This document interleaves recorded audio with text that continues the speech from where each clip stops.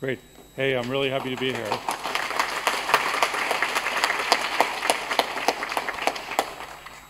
I just wanted to make one correction. I, I was the architect of A4, 5, 6, and 7.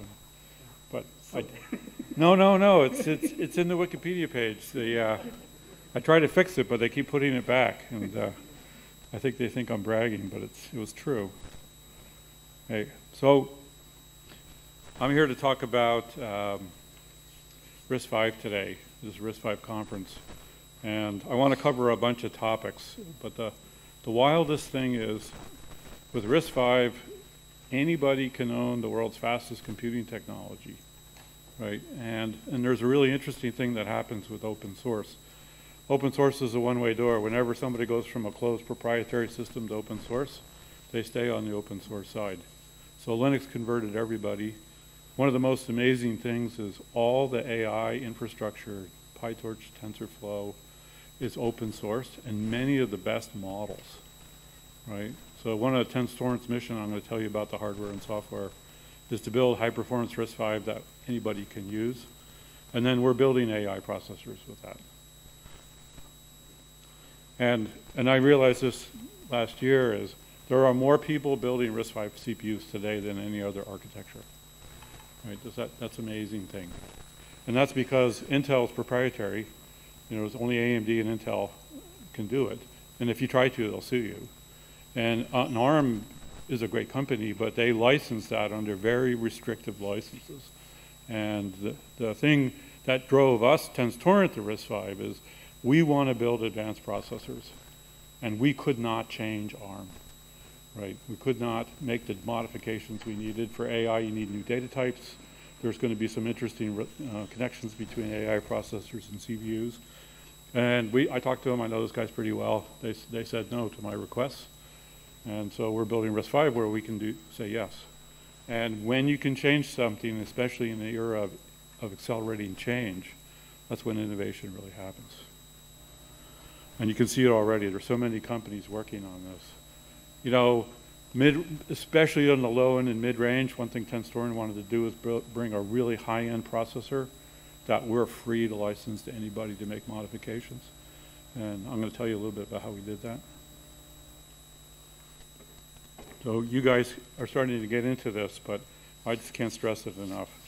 We can license our technology to somebody and they could own it, they can make their own changes. You can adopt it quicker because you can modify it to fit your needs. You can change it in the, as you go along. And we are already working on the next generation processor that's going to be much faster. And I believe that AI is going to start generating more and more of the code we, write, we run.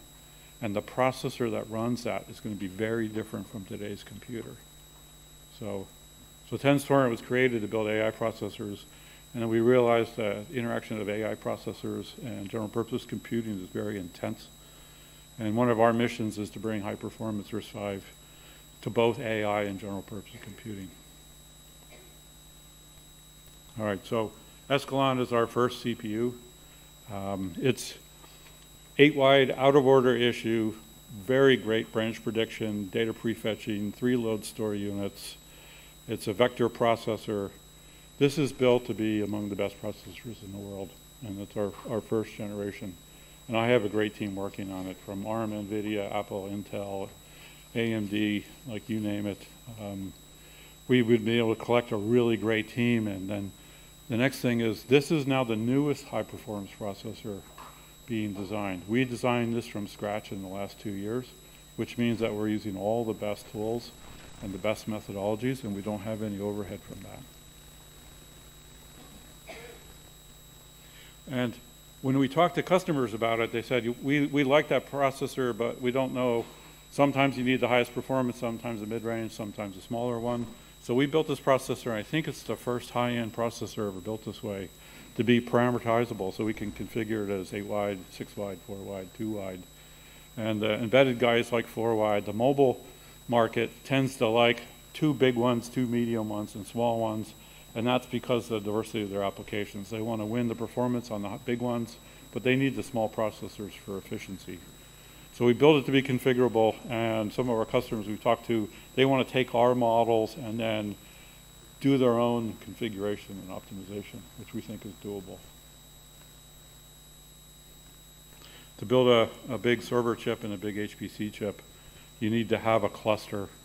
So we've built this around an eight, like a one to eight processor cluster, which then can hook up in a scalable network. I'll show you the server chip we're going to build.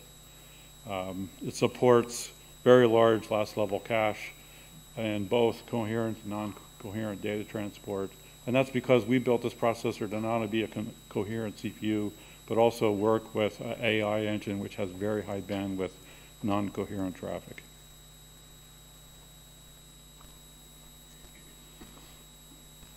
When you build a processor, just as important as your performance targets and your um, and your methodology, uh, the performance targets and your team is the methodology. So we think this is the first processor built from scratch where every single unit is testable standalone. So the instruction prefetcher, the branch predictor, the register renamer, the execution unit, the floating point unit, the cache, they're all built as standalone independent units. Right? And then we leverage, there's some really great new tools so you can create test benches to test your IP standalone. Right? So then when you integrate the components of the processor together, we should have very few bugs. And that's been our experience so far. We find 10 times as many bugs at the unit level as the top level. I want to keep pushing that. And then Tenstorrent as a company, we support the Whisper open source uh, reference model. We upgraded that with a vector processor interface. We added to that tracing. I know I've talked to lots of PhD students when they do computer architecture research. They have to spend all this time building a reference model, tracing things so they can do their actual evaluation and we open source the trace capability. And I've talked to lots of students around the world who say all the computer architecture research is being done on RISC-V. And the reason is because you can, right? There's a reference model, you can change it.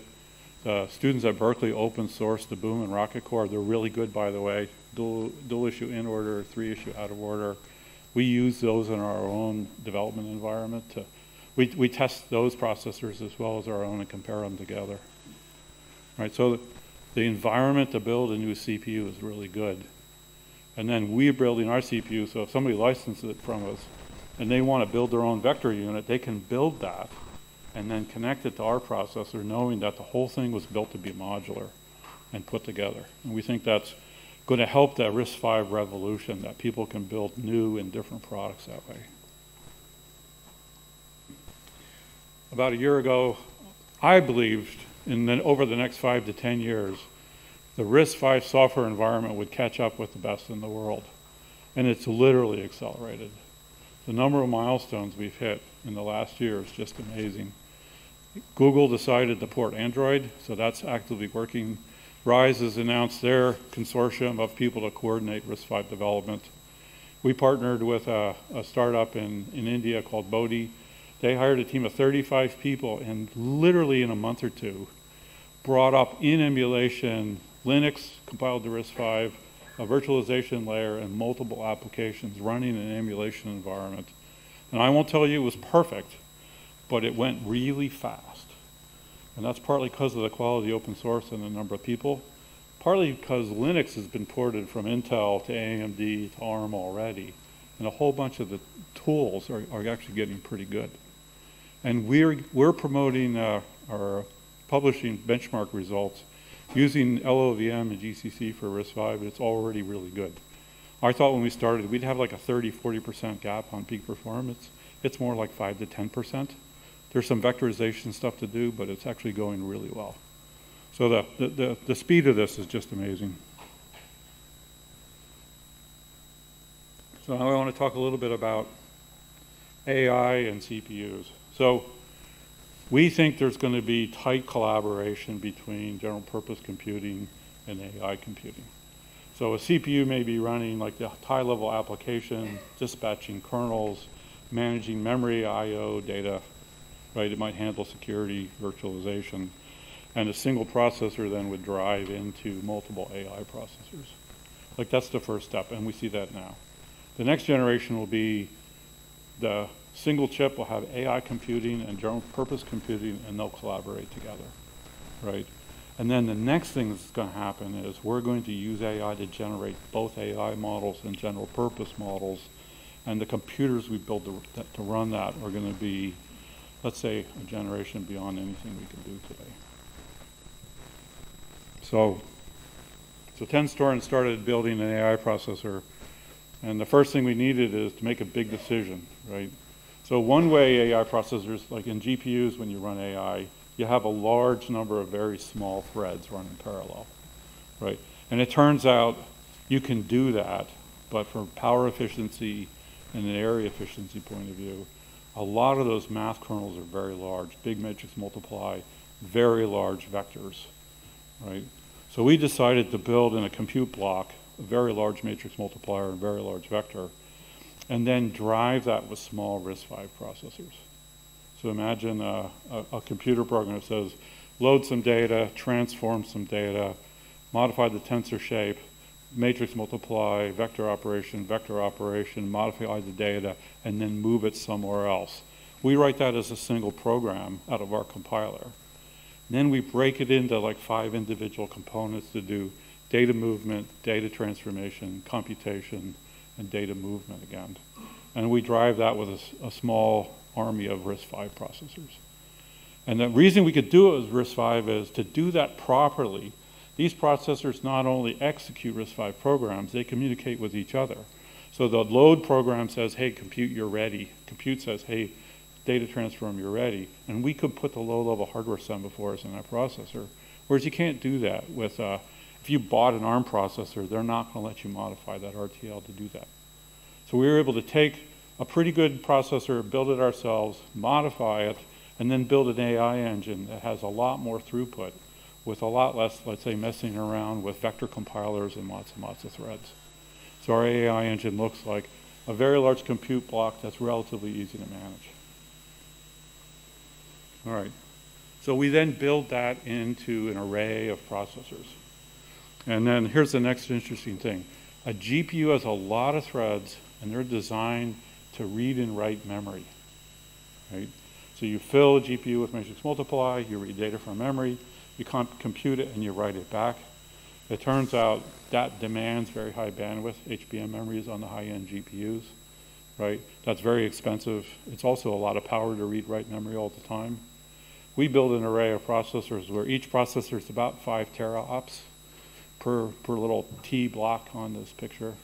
And then they they do their work and then when possible send it to the next array of processors so we can flow data through the whole chip without needing to read and write memory all the time. And it turns out to about, be about three to four times more efficient on memory bandwidth and a considerable savings on power.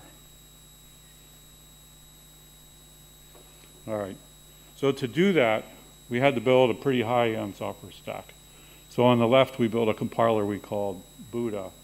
And and I'll tell you, this is, this is a decision we made, and sometimes we've regretted it because it's been difficult. You take a high level program like PyTorch, you read it into our compiler framework, you turn it into a graph. Then we modify that graph to do, there's multiple graph transformations. Then we lower it into ops. And then we use our software to lay all those ops across some large number of AI processors. Okay. We recently, we started last year and we built what we call metal stack, which means run your software on the metal. And this is something HPC programmers typically like to do. They want to see the vector unit, they want to see exact memory bandwidth, they want to lay all the data out perfectly, and they start the program by writing low-level kernels and then coordinating it through MPI. And we believe now we have both stacks. One is for PyTorch programmers who want to write their code and go, and the other is for HPC programmers who want to do the bottoms-up method. So here's a, a walkthrough of the top-down. So ML framework is something like PyTorch or TensorFlow or JAX. We use an open source tool called TVM, which is the interface to those languages that makes the first level of graph. We lower it to a large number of, of basically mathematical operations for calculations, tensor modifications. And then we have our own AutoGrad in there. So for, for AI stacks, a lot of time we want to take that graph and modify it for training so we can do that ourselves. We also have the ability that somebody wants to run their own AutoGrad or optimizer that they can fit in that framework. We parallelize the code, and then we literally place it out across arrays of processors. And I'll show you two examples of that. And then we lower it down to the binaries, and then we use actual RISC-V compilers at the bottom to compile the individual kernels and data movement to do the right thing. So here's an example of a graph. So our next generation processor, we've included 16 RISC-V processors on one side, and then we have a sea of AI processors. So you could take a graph that said this piece wants to run on CPUs, the next one, like in two, fits in this array of processors, and so forth, and we can pipeline the, the program on the chip. So this isn't like the static execution you see in a program. You say, you know, for i equal 1 to 100, do this loop until it's done, and do this loop until it's done. This is taking the program and laying it out spatially and arraying it across multiple processors, and then data can flow through that. So many AI programs naturally turn into data flow, and the graph compilation method lets us do that. On the left side of this picture is a more traditional, what they call metal stack. So this gives programmers access to the low-level hardware. So we call this TT metal. And that's where you can write low-level kernels, low-level data movement, but then you place it yourself to get the same thing. And the, the automated stack and the, and the manual stack are, are similar in terms of functions, but it's completely different about how you do that yourself to go build a high-performance program. Yeah, here's our roadmap. So our first generation part was a PCI Express device that's easy to plug into a server. Our second generation part is a network processor. And this is kind of wild because there's about 100 processors on that part. It's got 1600 gigabit Ethernet ports. We can lay those down and connect them all together. And we're building a machine with hundreds of processors, all talking together with 100 processors in each one. So literally 10,000 AI processors that we're targeting with a single compiler. Our next generation is called Blackhole. We're taking that this summer in six nanometer. We brought in, it's, it's a shrunk part, so it's faster and smaller, but we also brought in CPUs. And then we're starting to work on our next generation, which I think is the next step to unlocking computation for everybody, which is to build chiplets. And I'll walk through what that means in some detail. So here's a picture of our wormhole product Gen 2. So that card right there, see all those connectors, that's 1600 gigabit Ethernet ports. And that's a 4U server with 32 cards in it. That's a 12 petaflop box at 6 kilowatts. Right, so, so, compared to like an A100, it runs two to three times as fast for about a third the cost. Right, and, and some of that's because we don't use HBM. Some of that's because it's much lower power and we can fit more of them in a box. And that gives us a really nice you know, price performance. But that's designed and built to run very large graphs. And here's a simple example. So BERT large is one of the large language models. If you, take, if you look at the model, it looks like a, a sequence of large, what they call heads. In each computation is fairly complicated inside, but it's replicated multiple times. Our compiler sees that and says, oh, I know how to fit this this computation on one chip, so it fills the whole chip with it, and then lays the sequences of them down. In this example, it was 24 chips. So we built a large language model and compiled it with our Buda compiler entirely from software to lay it out. We now have operations which are bigger where the compiler sees the big block and it spreads across multiple chips and then lays that down. We hope to demonstrate that on hundreds of chips this year entirely from software. So this is an automated method.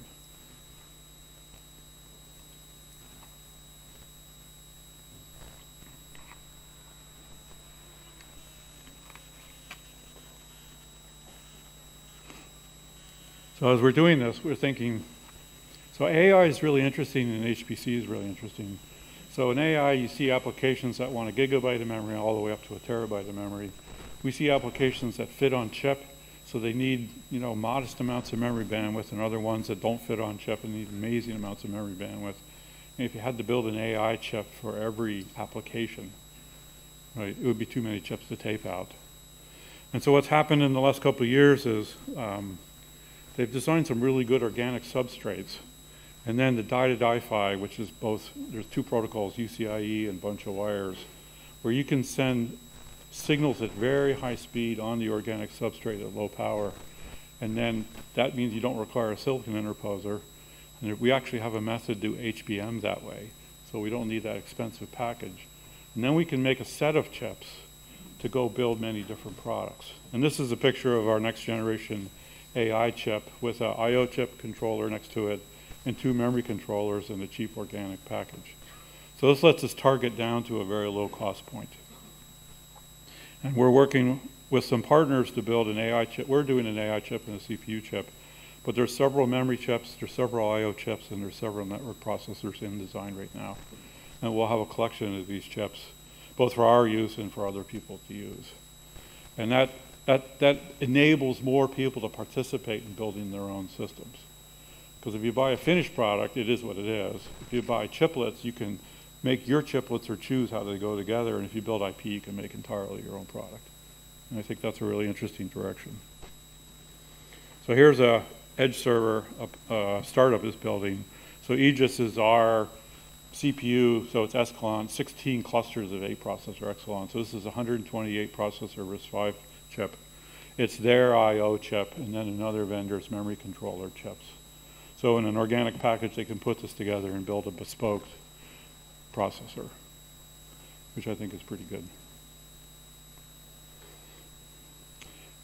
Here's what we can do at the high end. So this is a multi-petaflop AI processor with 128 processors, and this is where things can really get interesting. So the CPU and the server end data prep side wants really large memories. The AI wants high bandwidth HBM memories. And depending on the size of system you're building, you may want really high bandwidth or really different network processing. So this example, on one side, it has a Ethernet controller, on the other side, PCI Express, and then the CPU is talking uh, DDR, and then the AI is talking to HBM. So these are off, it's like our mission is to make these off-the-shelf chips. So if you like those, you can build a product with that. If you want to license the technology, you could license the RISC-V or AI uh, technology and build your own chip and your own configuration. But this is going to broaden the number of people who can participate in this. And this, this would compete with the fastest AI processor in the world today. Yeah, it's really cool. So RISC-V, IP, and RISC-V chiplets, plus whatever you want to do, makes a market solution. So one thing I'm asked, you know, many times is, well, which market are you building it for? Well, we're, we're a design company, right? We're building high-performance CPUs, high-performance AI. We have a big software team that builds that kind of compiler to transform AI programs, right? But the technology that goes into it is really variant, right? I talked to a company building power supplies. They want to put a 50 teraflop chip in a power supply to improve its efficiency right? And it turns out for that power supply size, it's a really good trade-off, right? So AI for power supplies, right? Who would have thought it a couple of years ago, right? And then there's a whole bunch of edge servers, network processors, video processors. Autom AI is going to be in automotive everywhere, right? Autonomous driving, infotainment, sound systems, camera processing. AI is going to get built into, into every single piece of that technology. But that same AI technology is going to show up in data centers and super large cloud servers. So here's a, an example of an automotive vertical, right? We can provide today AI cards that run any model. So this turned out to be really important. It's, it's fairly easy to build IP and chips with very high flop counts it turns out to be fairly difficult to build a software technology that enables you to write the programs and get that performance. So we can now demonstrate most models on our hardware. So then people can say, if oh, I bought the IP for that, I could go do that. And then CPUs are easy to value. The, you know, like a CPU is a CPU at some level. The cool thing about RISC-V is it's your CPU. And then if you need to make modifications or configuration changes, you can do it, right? The next step is you decide whether you're, you're going to build a new chip where you take all the IP, or you're you going to use chiplets to put some of those components together. So I built a hardware three at Tesla. And to do that, we built a great new AI engine. We had a really cool compiler strategy, which worked, which I'm, I'm quite happy with. But we also had to build a CPU, a GPU, a DDR controller, PCI Express controller, camera processor, and multiple video interfaces. It turns out we didn't add any value on those IPs. But to build the chip at the cost point we wanted, I had to license a lot of technology and then put it together. It would have been way faster and cheaper for us to, to buy the chiplets for some of those technologies and just build our AI processor, right? So this, this is where you get into the, what do you want to make, what do you want to buy, what do you want to own, right? Which gives you a lot of flexibility to do your own product. So we're really interested in the open business model, right? Because there's so many pieces to this kind of technology and there's so many points that people want to achieve from small numbers of processor watts to literally hundreds of thousands of processors in data center compute. Like it's a really broad range. It's really broad range on the memory technology.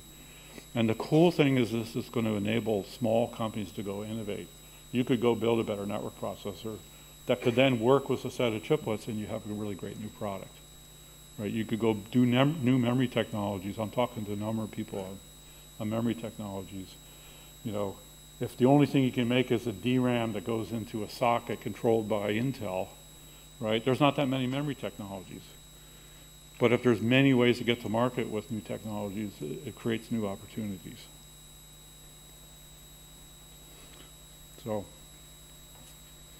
so here's our mission, you know, bring high performance everywhere we can and make it really, really scalable, right? And then build AI the same way we build the, the CPU technology. And it's literally all powered by RISC-V, right? And that's because RISC-V lets you own it and lets you change it and then meet your needs. All right, thanks everybody.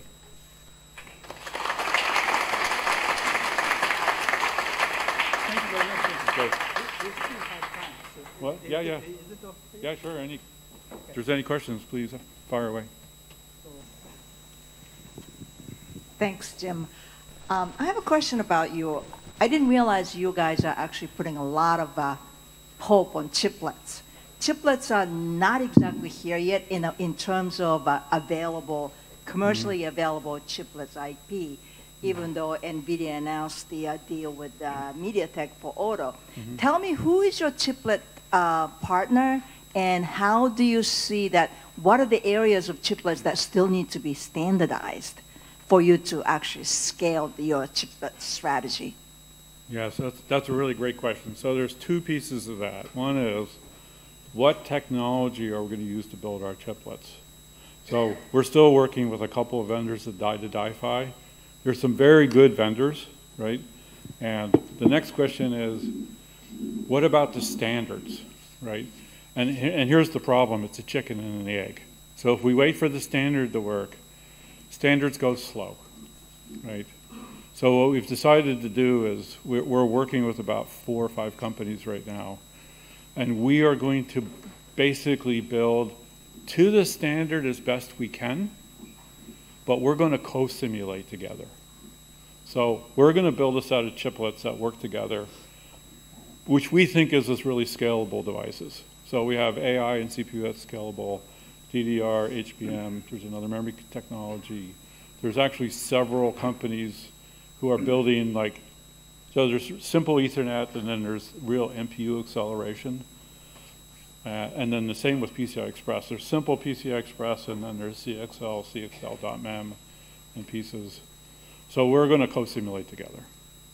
And that's going to kind of push us through the first wave. Because what I think will happen is the, the committees are making progress, but, but for you to build a chiplet that works to the standard, that will work with somebody else who you didn't talk to, that's two or three years away. So we're taping out uh, something like six chiplets next year, which, which is before the standards are really baked. And then that's to get around the problem. Now, this happened early days of PCI Express. Remember, there used to be PCI Express plug fests, right? And, and I worked on a server where you had the spec, but you also had the errata. So you knew this company messed up this and this company messed up that, right? And so when you built your device, when you built a host device, you had to be the smartest one that dealt with all the problems, right? Nowadays, we just don't even think about it. We assume PCI Express Gen 5 works in Gen 5, right? But that takes several generations to, to, to straighten out. Now, on the package side, the package stuff is coming along really well. And the, the, the smart thing that UCIe and Bunch of Wires guys did is they picked a pitch, 130 micron, driving down to 100, that doesn't require advanced packaging to make it work. And that's because the super low power die-to-die SerDes are great. Right, and that was a big innovation. We used to, so if you look at the AMD multi-chip package, those chips are pretty far apart, and that's pretty close to our real SerDes, right? But when we can package the die really close together and then take a lot of power out of that wire, like that's the thing that made that happen. Now, HBM, it's a, it's a finer pitch, it's 50 micron. And they did that to get the power out of the per lane, but that drove the cost into the package. So that's one of those, you know, trade-offs that they made. And, and that, that's kind of constrained HBM out of this. But we have a, we have a way around that problem. And uh, so we can, we can deliver HBM performance without HBM package costs. So it's going to be interesting. Like you're right, this is an interesting set of problems. But we think it's worth it. Hi, uh, I think uh, I love your uh, story uh, and dream of how the Tenstorrent's can be successful with using RISC-V. But I believe the cost of the ownership using RISC-V uh, is still very high. And uh, where do you think um, the RISC-V can break through first? Because as you know, ARM has tried many times for data center and has so far hasn't made any breakthrough. So I just want to see your crystal ball on where do you think this is possible to do? Yeah, so that's, yeah, that, that's, that's a good, so here's the problem. You don't break through by storming in the front door, expecting everybody to line up and do it, right? So people built ARM servers and said, hey, it's an ARM server, right? That didn't really work. So what Amazon did was really smart. They built Graviton, and they put it for a narrow range of applications, and then they let it grow organically because it has a real cost and power advantage. Okay, that's one step.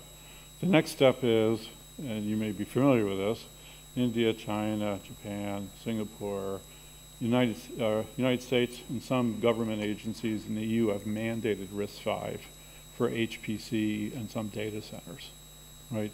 And we're building technology that can be included in those products, right? and we're working with a number of companies who, who say they want to go do that. Okay.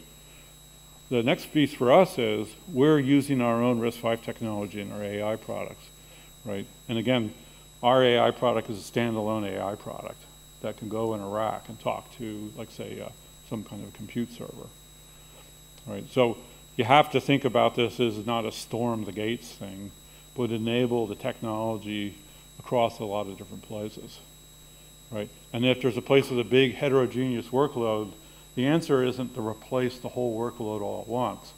It's to create a lower cost alternative, and then people will say, hey, I could own that technology, right? So right now, you know what the gross margins at NVIDIA are and what they used to be at Intel, for example, right? That's a margin stack, so TSMC makes 50% gross margin, and somebody else makes 60, 70% gross margin. That's a really high margin tax to pay. Right. So people driving a lot of computes can say, I don't have to replace all of it. I can replace 10%. I can buy wafers right from the factory. I can drive costs down. Right. And I think that'll happen over time. Right. And that's where open source comes in because now you can start to make products that really focus on a market.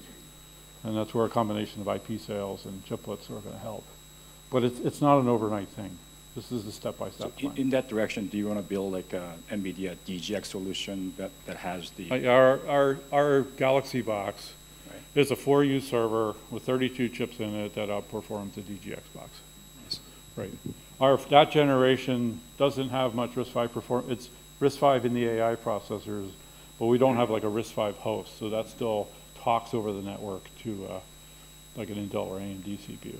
But in our next generation, we'll have RISC-V processors in every single node. So it can really be a standalone AI computer. And then in the chiplet world, the customer can say, I want more or less AI versus general purpose computing. And then in the HPC world, people, like Japan's home to some of the best vector computers and vector compilers ever built, right? And we'd love to work with them to say, here's a great processor, let's go work together to go build something that's better because of both technologies. Yeah, it's a great question. But it's not a, it's not an all or one and done. It's step by step. And ARM is making progress. The nice thing for RISC-V is as they make progress, they're cleaning up a lot of software and making a lot of applications available to RISC-V, which is actually happening. Follow-up question then. Yeah. Do you believe this has potential into uh, other areas such as automotive or IoT devices? Or Oh, of course. Yeah, it's like, there's, there's so many, RISC-V is going into the low-end IoT devices and embedded computing everywhere. That's partly because of ARM's, you know, decisions about pricing, right? People want to own their technology, and also, they want a, a contract that works over the next 10 years, not something that they have to worry about. So RISC-V's gotten a lot of momentum for that. Like, I thought it'd be a long time before mobile make progress. Multiple companies are working internally on RISC-V Mobile, and then Google announced that they're porting Android. Now we'll see if it's a business strategy, right? It could be let's go let's go leverage ARM or something. I, I don't know. Like crazy things happen all the time, but the momentum there is pretty good. Yeah, that's a great question. Any other questions? Are we doing good on time, sir? Uh, Yes, maybe last one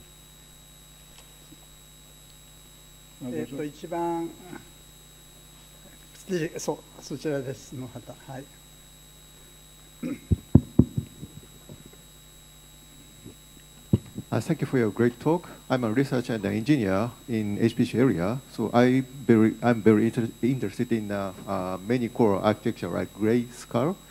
But I have no idea how do I implement my application onto that uh, large uh, many supercomputer, uh, many uh, PCs. So I have a not good uh, experience at the Xeon Phi, and it uh, has many uh, P cores, but uh, it uh, yeah uh, it does work as I expected. So what the difference between I mean a key technology to make your uh, program uh, uh, uh, no your uh, Grayskull uh, distinguished from other uh, many core architecture? Okay, let me tell you. So, people in the past have built computers with lots of processors and dense compute, but then they didn't deliver the software to let you do it. And, and, and that's, the, that's the real hard part. So, our AI processors, like I said, if you look inside each processor, there's a, there's a processor feeding the compute, which existed in those, those Intel processors. But there's also several processors whose job it is to move data, transform the data, and manage the local buffering. And that the software for those is written by the graph compiler. So if you can describe your problem as a graph, right? Our, our compiler takes that apart and then lays out that, that all that software, balances the compute between the different nodes because we can develop models for each kind of compute, right? And then you can run it, and then we can give you a visualization back to say, this is how your computer is running. This is too fast, this is too slow, too much bandwidth here, and then we can, we can balance it out. So it's the, the compilation is the hard thing. And by the way, it's been hard for us to do. Uh, but we feel like we're starting to really make progress on that. Okay, so it means that we might want to have um, a new language to describe the data flow, right? Yes. Okay, thank you for your great answer. Yep. Thank you very much. Thank you very much. Thank you very All right. Much. Thank so you. So thank you very much. So I really appreciate it. it so uh, thank you. Thank you very much for Jim. Just one thing. So at the end of the book, there's this section about gra graph compiler that Jim has just actually described about. Yeah. FYI, so that's all.